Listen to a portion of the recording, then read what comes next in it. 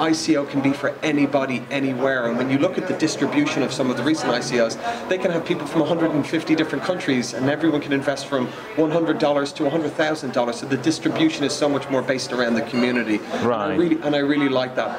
At SVK Crypto, we really try to focus on early stage projects, but it's not just investing the capital side of it. It's all about the community and bringing them into your community and helping them foresee any type of issues they may have. And at SVK, because we come at it from a traditional finance, we try to help any way that we can structure their tokenomics, or we like to try to help them introduce to our crowd, or we also have a very active community both on social media with podcasts and blogs, and we have the biggest events in London, which we do every month, and it's all about sharing that to the hmm. projects that we really believe in.